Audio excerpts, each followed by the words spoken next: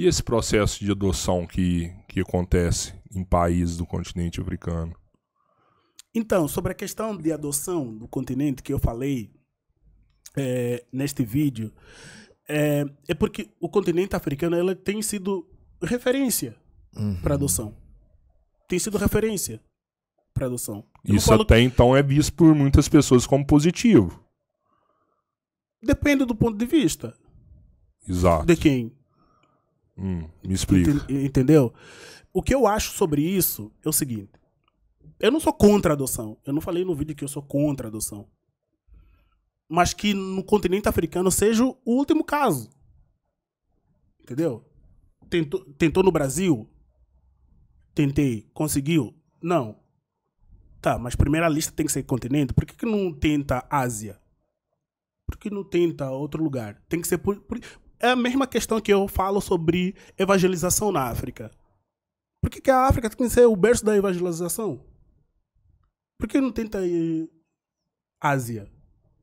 Cara, Europa. Eu vou te dar uma resposta, talvez não que você queria ouvir. Sim. Mas é porque é o seguinte, por que lá?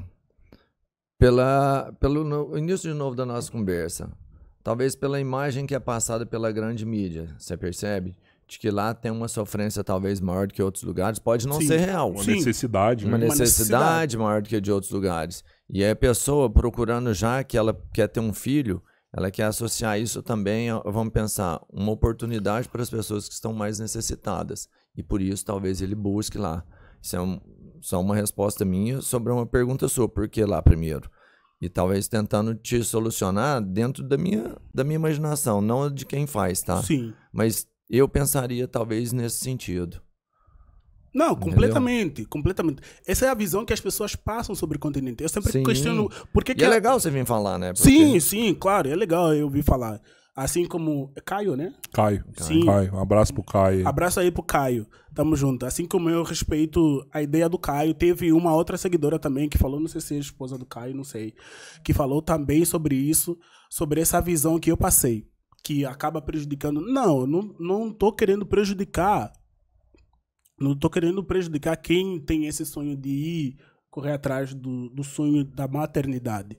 Porque eu acho que é importante isso. Poxa, é, é importante. Ainda mais agora que você é pai, pô, você fala, não, é Sim, é importante bom, né? esse que, sonho da que... maternidade. Mas também eu acho que a África não pode ser somente a primeira opção de, de querer buscar. Né? Por quê? Porque eu acho, eu preso pelo meu continente. Entendeu? Pelo meio continente. E os pais também têm que prezar pela origem dessa criança que eles estão pegando. Entendeu? Sim. Tem que prezar pela identidade dessa criança. Muita gente vai falar, mas eu, Ismael, mas eu, eu ensino isso sobre. Não, mas não é a mesma coisa.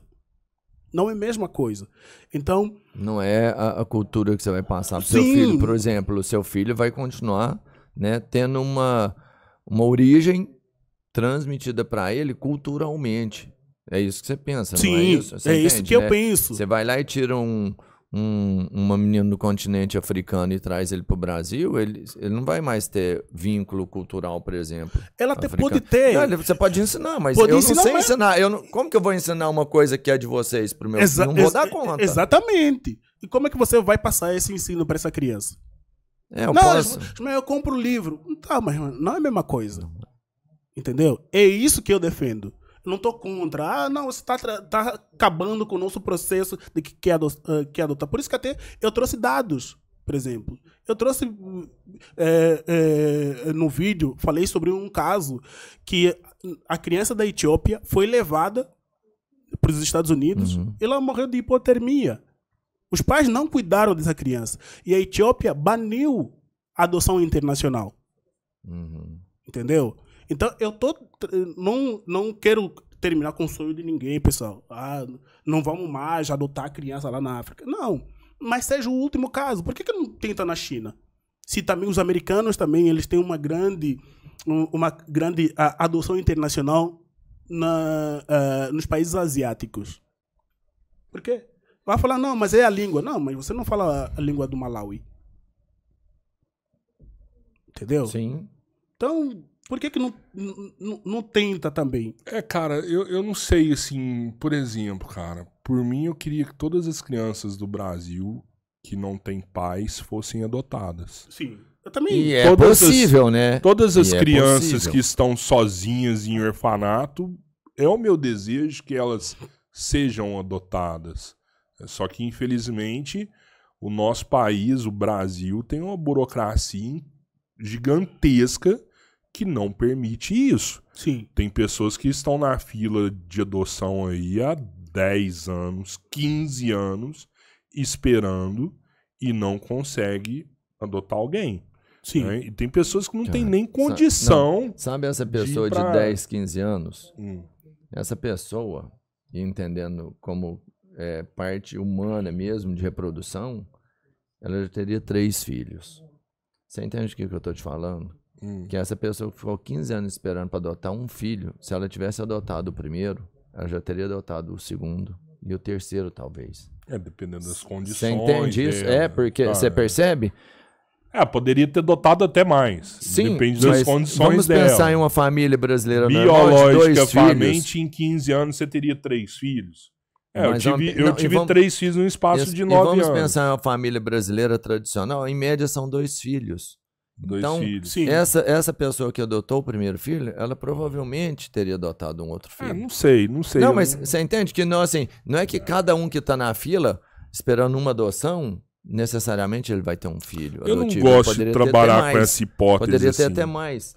Até Você porque percebe? eu percebo, poderia ter até mais, mas eu não gosto de trabalhar com essa hipótese pela questão de ser pai não é fácil, é uma vocação, né? E as pessoas que estão na fila da adoção esperando para adotar um não, filho já pensaram muito nesse Isso. processo. Esse cara tá mais pronto né? pra ser pai do que eu do ou você. Exato, muito Sim. mais, Esse muito cara mais. da- Não- Ah, Eu não, não é isso que ia falar, não, Sim, né? concordo 100%. É, o cara que tá na fila, ele 100%. tá também muito mais pronto pra ser pai do que Ele eu. tá muito mais pronto para ser Ele pai do que quem é, do quem que é pai biologicamente. Exato. Isso já e foi ele é um pai, cara, o cara eu entrar numa fila de fodas. adoção, ele já pensou mil Não, vezes, e ele já tentou ele- de cara, tudo pra ele ser tá pai. Preparado, Sim. ele tá preparado e todos os pais que eu conheci nessa situação, cara, eu vou te falar que eu amo meu filho de uma forma inacreditável, como você tem o seu.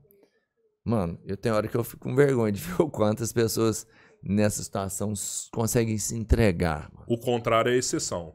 O contrário é uma regra. Igual não. aconteceu com essa criança da Sim. Etiópia que você falou. Isso Mas, daí. mano, Mas a não- gente vai tá se baseando no Não, pela não, exceção. não, mas esse aqui é um dos casos. Existem vários outros casos. Não é exceção. Não, Mas não- é a não- maioria, os outros casos? Também não. Não. Também não. Sim. Mas foi uma, um, um, um, um, Mas um- é um ponto de a troca de partida. região também que você fala, né? Sim, eu não falei Você só. vai de um do- país que a gente levou levar lá pra... Não, Sim, eu não falei sim. só.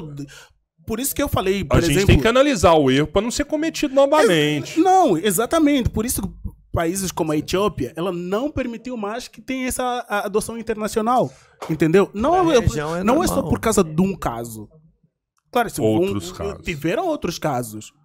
né? Onde que a gente tá errando? Vamos consertar? Porque eu acho que, na boa, você fala assim, tá proibido de acontecer, eu acho errado, sabe?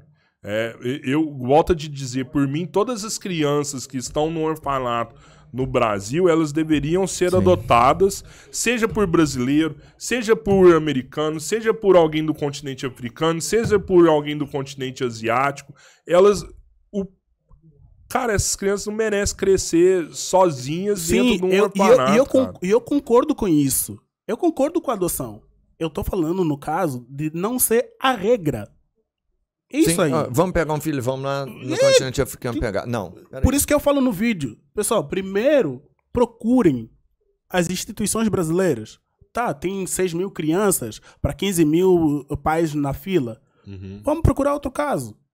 Vamos Sim, adotar sim. outras crianças de outros lugares. Mas você tá Vamos- ali na fila de espera também, né? Mas tá aí na fila também. Ó, primeiro- entendeu? primeiro não, pré-requisito. Porque, oh, não, quer desa- não quer incentivar. Não, não é isso.